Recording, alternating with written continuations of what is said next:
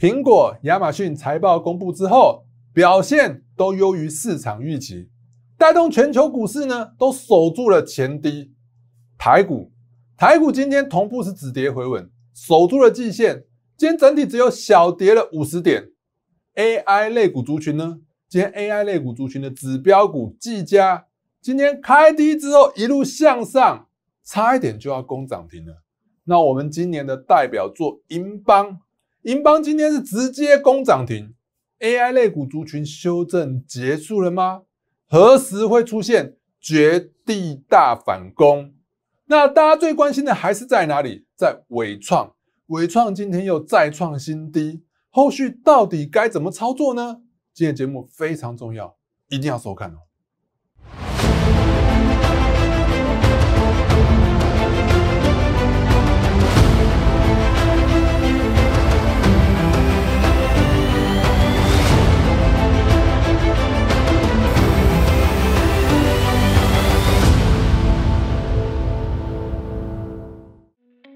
投资获利，放眼未来。想要跟我一起使用融合总经面、基本面、技术面，面面俱到的投资方式，掌握股价关键买卖点。欢迎加入我的相关媒体频道。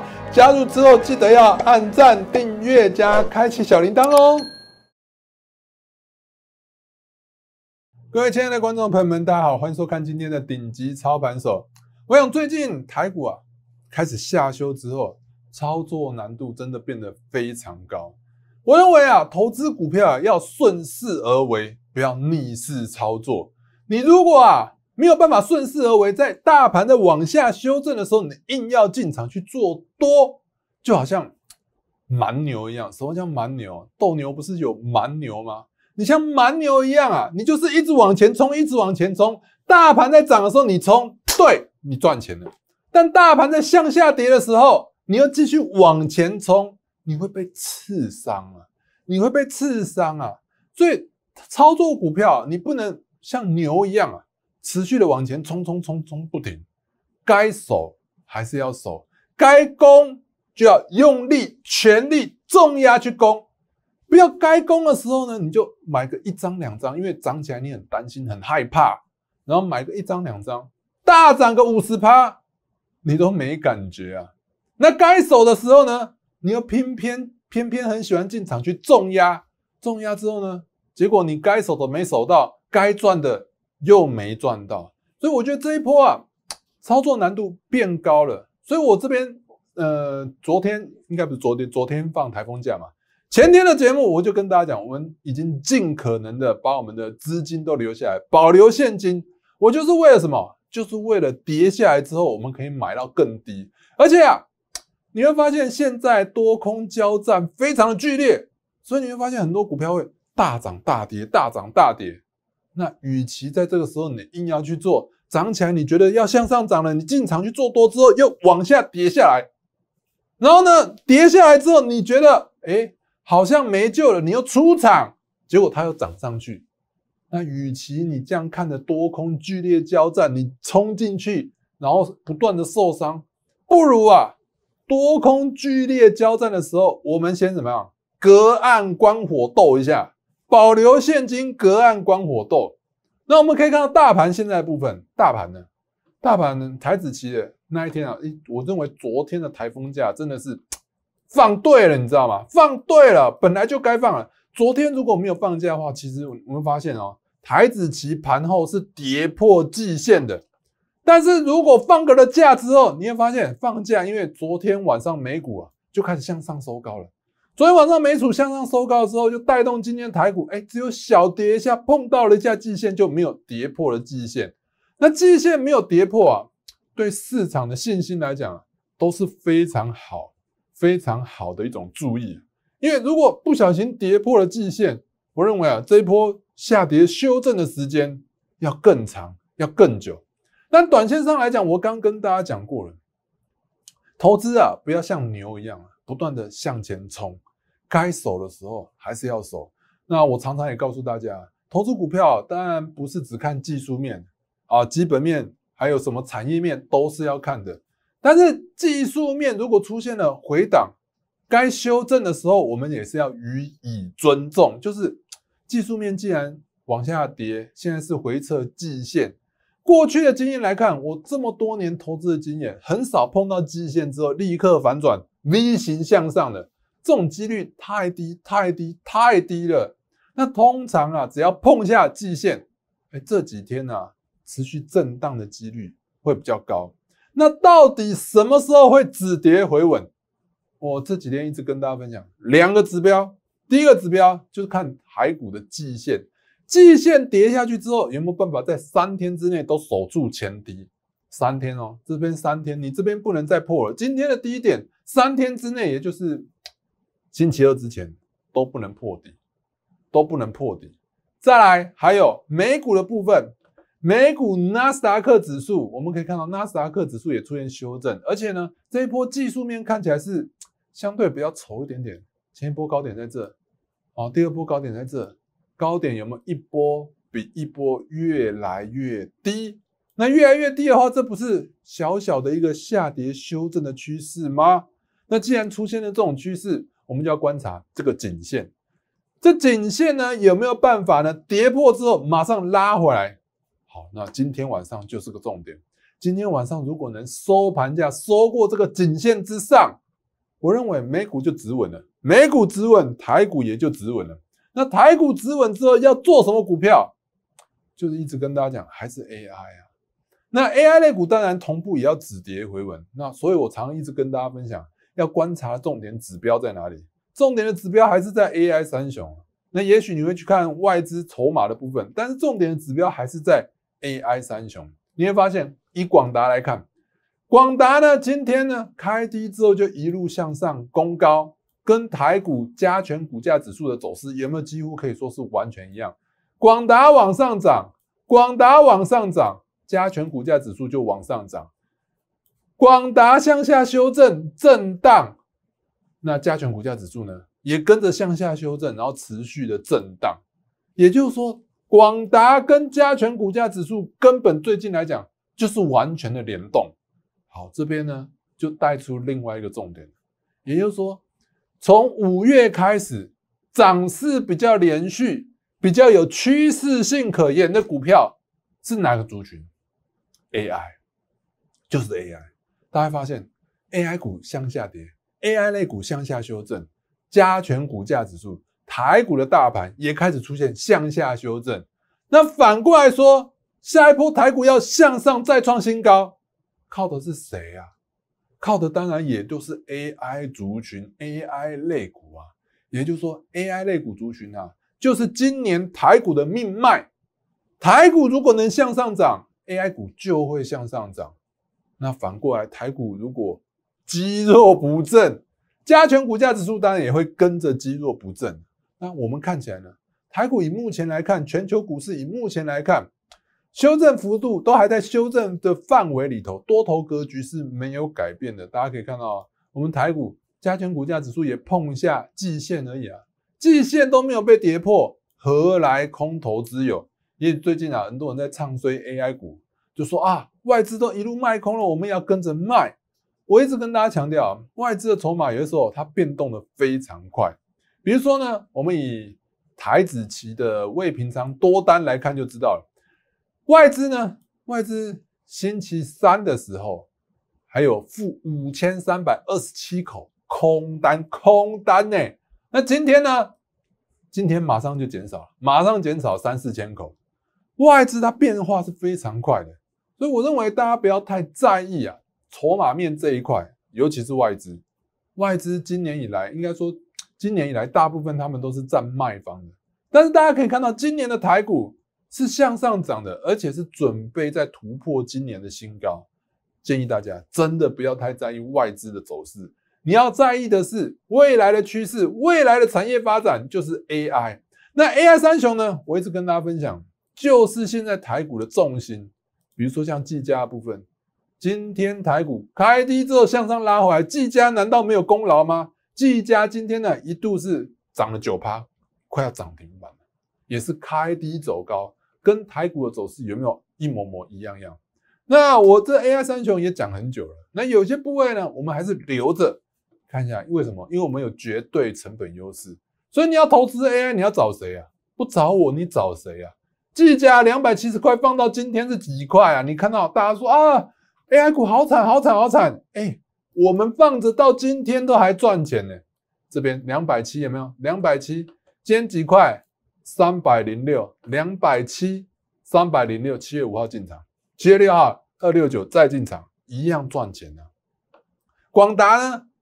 广达我们可以看到今天是几块？两百二十块，两百二十块。我们之前在买的时候啊，七月二十一号，七月二十一号进场买的时候两百零四，放到今天，即使修正了那么多，还是赚钱的。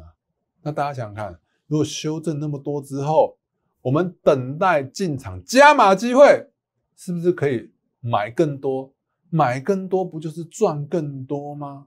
啊，当然这是 AI 三雄的部分。我想 AI 三雄啊，大家最关心的还是在于伟创啊。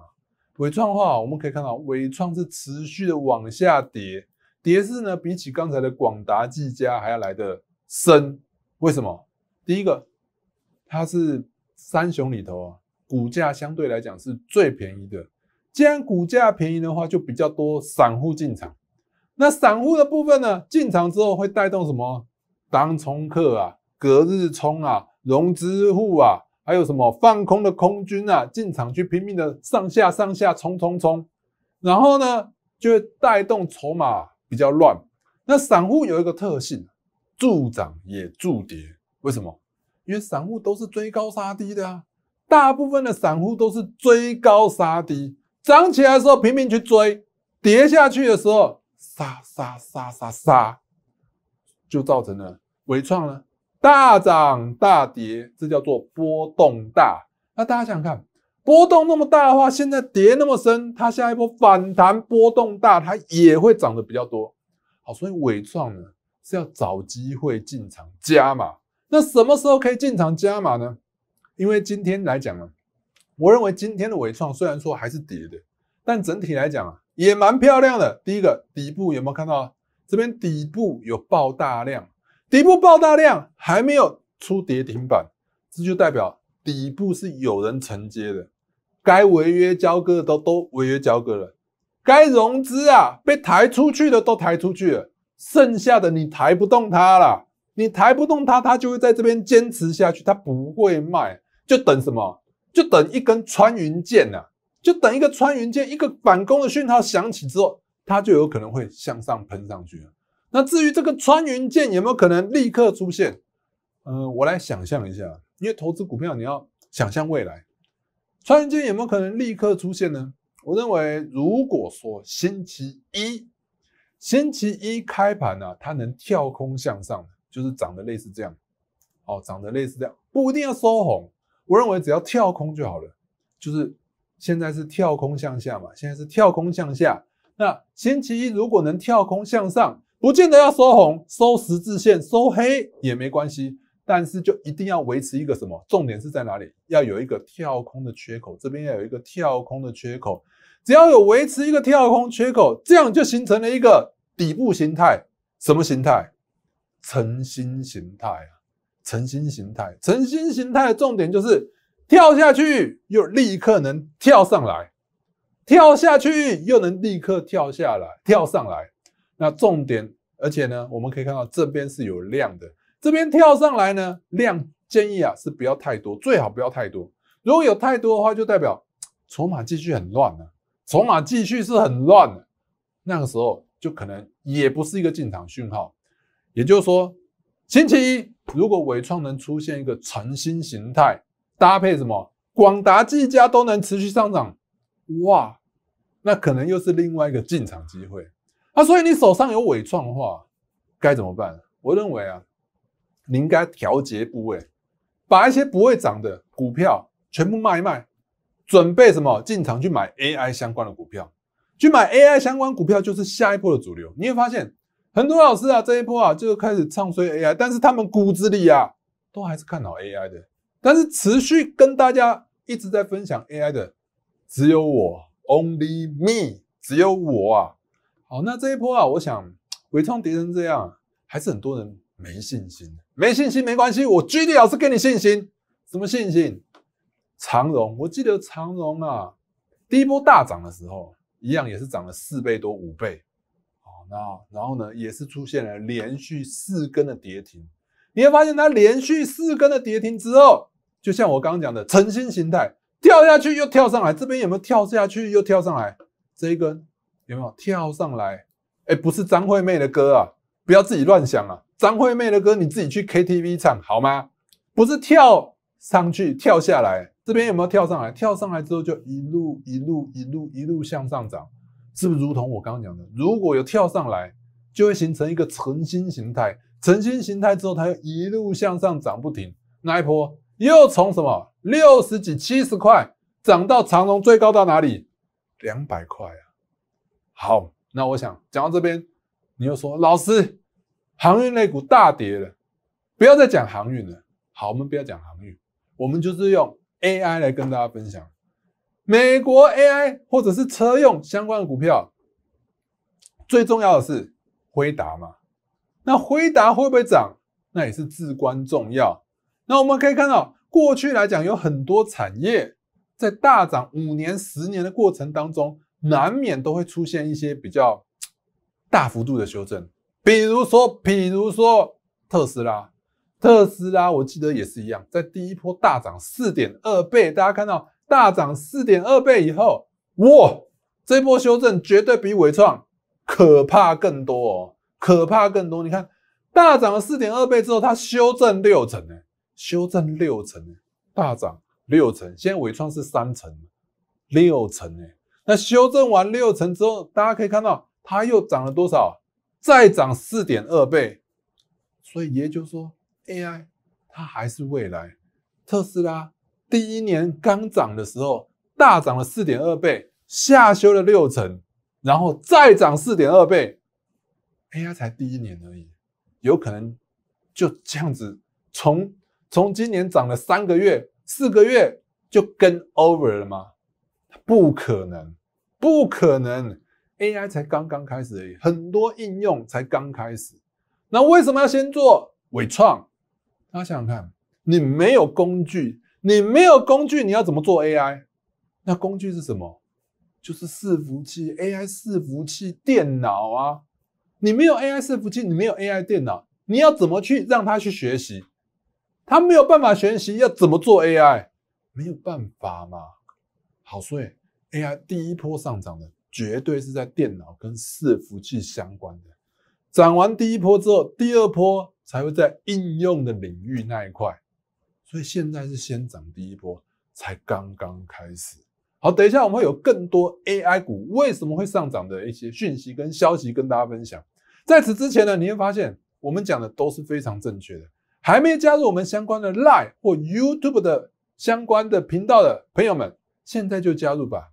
打开手机相机，扫描这个 QR code，就可以看到我的官方 Line，或者是你想用关键字搜寻。小鼠 GD 一七八八，小鼠 GD 一七八八就可以看到我们的官方 live，我随时不定期会跟大家分享最重要的讯息，特别是修正的时候，我也都跟大家分享。或者是呢，要建议大家要买进或有任何啊，我认为可以买的标股，我也会不定期的分享。另外，YouTube 的频道记得也要帮我订阅、按赞并开启小铃铛。那这一波来讲，我知道很多人啊。很多人呢，就是这边唱衰 AI 啊，然后就说你要趁 AI 的时候，你去买其他的，不就不就赚钱了吗？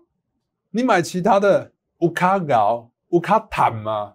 我告诉大家也没有啦，现在还是 AI 比较强啊。你要想想看，大盘在涨的时候，你买的股票不会涨，而现在大盘在修正的时候，AI 股票也跟着修正，而你之前买的股票，哎，相对抗跌，你很高兴吗？没有涨过，你有什么好高兴的？很多 AI 股涨了那么多，下跌，即使你在半杀也要砍掉，你甚至都还是赚钱的。我们来一个一个看，比如说，你看台药那一天，哎，AI 股在修正的时候，台药涨停，台药涨停，结果呢？你看这两天又向下修正，这两天向下修正，来这一根在那边炫耀，讲说，啊，你看我没有 AI 股，我买到台药，我生技类股，哎。那今天呢？今天又开始怎么样？继续跟你唱衰 AI，继续唱衰 AI，这样我卡搞啊！好，再来检测相关的族群，检测相关的有宏康嘛？我说我常跟大家分享，AI 三雄不涨，很多人就跟你跟你唱衰，微创、技嘉、广达一直唱衰唱衰。你看你跟着我买便宜的 AI，宏康是不是大涨了？啊，结果呢？AI 三雄不涨，我告诉你，很多股票都不会涨啊。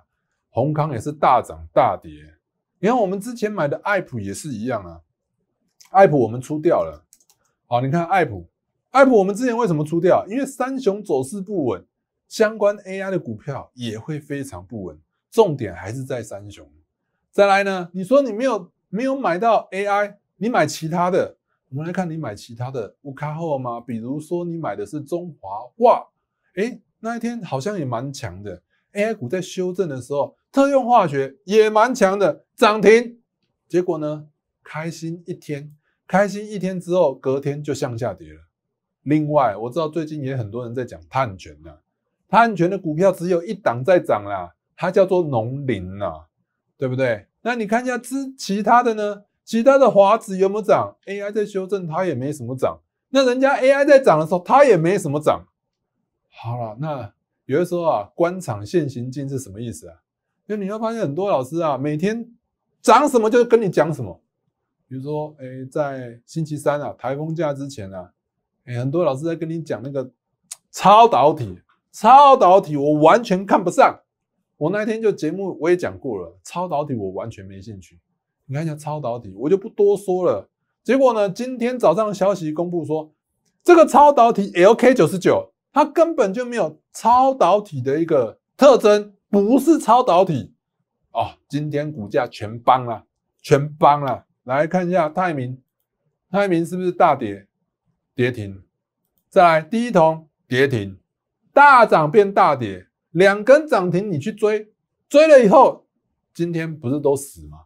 再来光阳科，光阳科也一样，大涨之后立刻大跌。你买这个类股到底有什么意义啊？哦，你每天只是看到哦，今天涨这个啊，就跟你讲什么？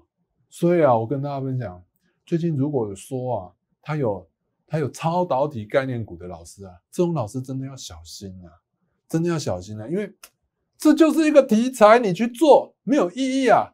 我一直跟大家分享，要做就做主角。以 Mission Impossible 做几率吧，有没有？有吧？不用在我拿图出来了吧？主角是谁？Tom Cruise，Tom Cruise Mission Impossible 永远不会死的，配角会死，主角会不会死？主角绝对是长命百百岁啊，而且是关关难过关关过。AI 也是一样，关关难过，它绝对会关关过。哇，发音有点不标准。好。来，我们看一下。其实我在上次的讲座，我真的我觉得我讲的真的都超级重点。我一直跟大家分享，我说什么叫做产业，什么叫做题材。题材刚刚那个 LK 九十九就是个题材，那 AI 呢，它就是个产业。我也跟大家分享，哎，有什么不一样？题材就只是个话题啊，它永远没有办法变成人类的生活必需品。有很好，没有。哦，fine，OK，它不会改变人类的世界。那产业呢？产业是什么？产业就是它真正会改变人类的生活。比如说智慧型手机，比如说电动车，比如说现在的 AI，就是正在慢慢的改变人类的社会、人类工作的模式。而且不要说我这边讲讲，很多产业都已经慢慢在印证、印证当中。大家可以看到很多的讯息发布出来都是这样的，比如说亚马逊的财报，为什么亚马逊财报优于那个业绩优于预期之后呢？股价就大涨，大涨十趴，为什么？为什么？就是因为它 AI 的产品已经越来越多人应用了，包含了飞利浦、3M，还有汇丰银行都在用它的 AI 啊，可以可以做出很多的应用。也就是说，AI 应用正在慢慢的实现当中。再来苹果，苹果的部分啊，iPhone 销售量不好啊，正常啊，大家都习惯了。因为 我自己本身以前也是果粉呐，那我现在对换手机真的 越来越没兴趣，也没感觉。为什么？换来换去，你用的操作还不是差不多？像我个人呢，我用手机啊，就是看新闻、看股价，哦，打电话、发赖就这样而已。其他没有用啊。你叫我换新的，哦，也没什么意思啊。用来用去还不是一样的功能，一样的画面，哦，呃，速度比较快吗？没感觉，以前可能有，所以手机销售量下滑是正常的。那我们可以看到，连苹果都布局在哪里了？你看库克，库克说啊，他的研发支出啊，今年达到了两百二十六亿美元，比去年同期高出了三十一亿。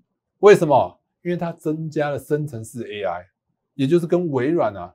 跟什么 Google 一样，他说什么？大家看啊，库克说，多年来啊，他们持续对 AI 进行了研究，包含什么生成式 AI。他说他会持续的投入创新，还有投资，对吧？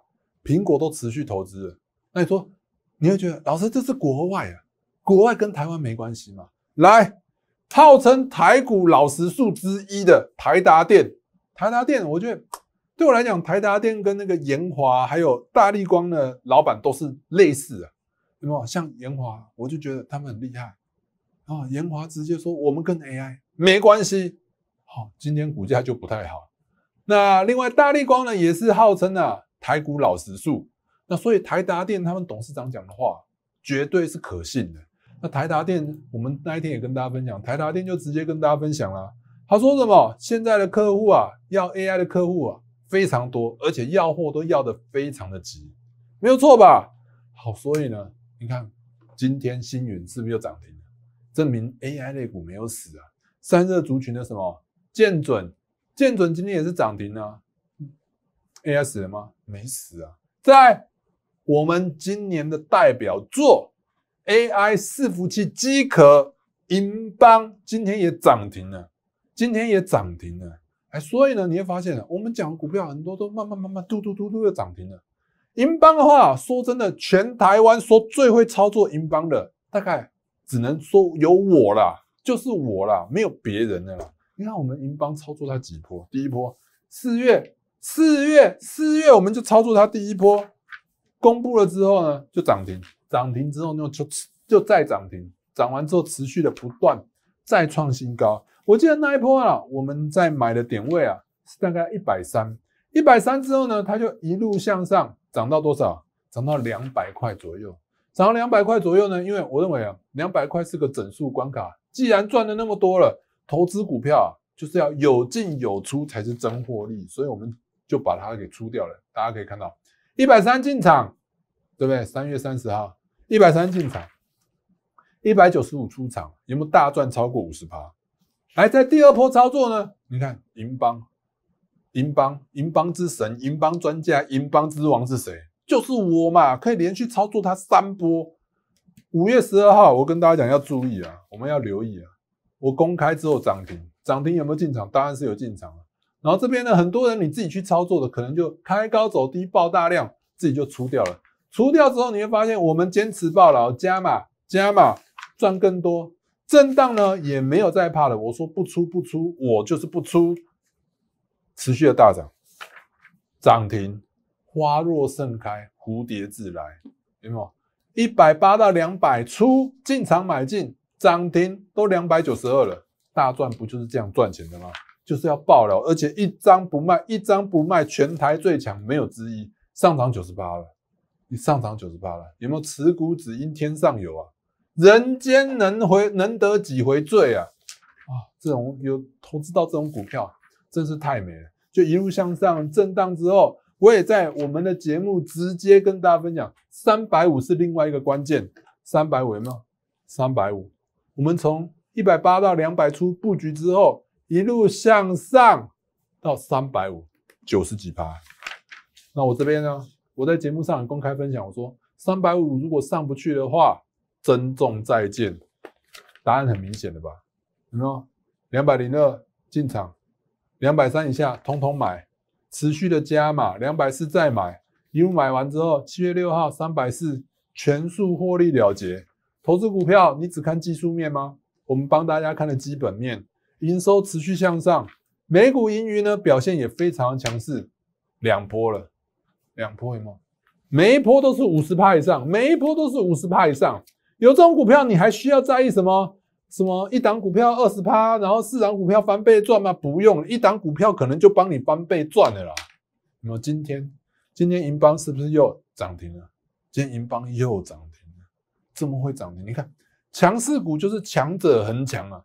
那最近因为很多人在唱衰什么 AI 股，AI 股不行了，真的不行吗？我们继续看下去。我告诉大家，有一个关键的日期是什么时候？八月底。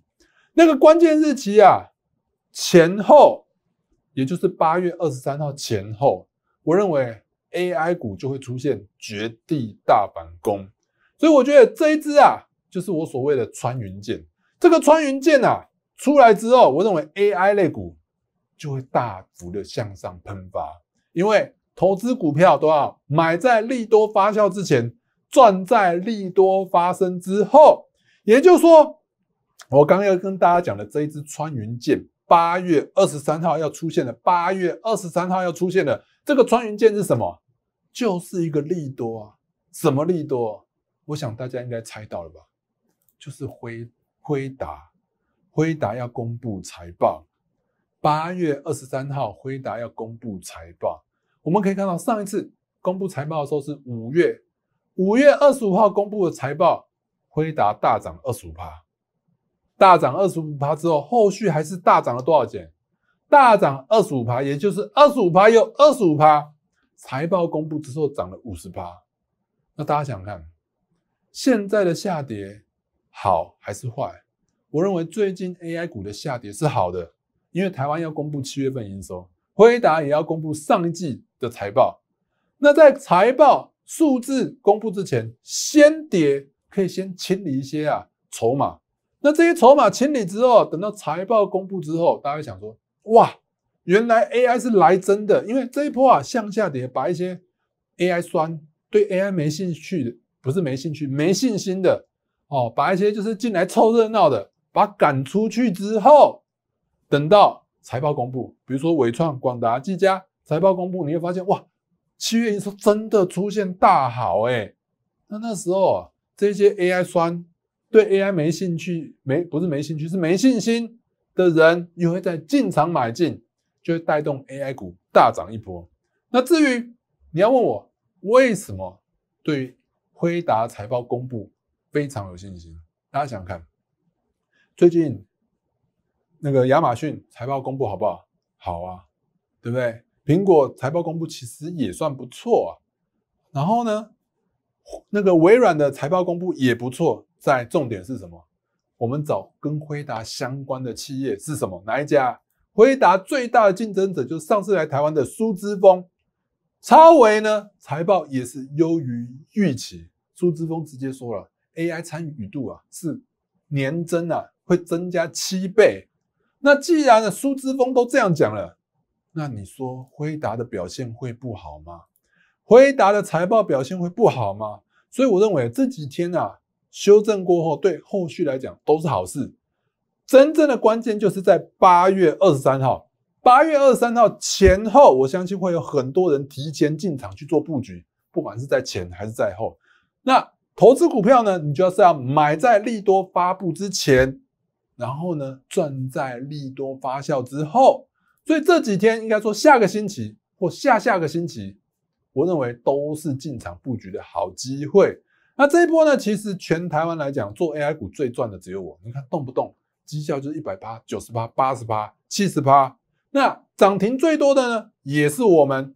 那十四天四十九登涨停，那那几天啊，我就每天都有涨停，每天都有涨停。那现在。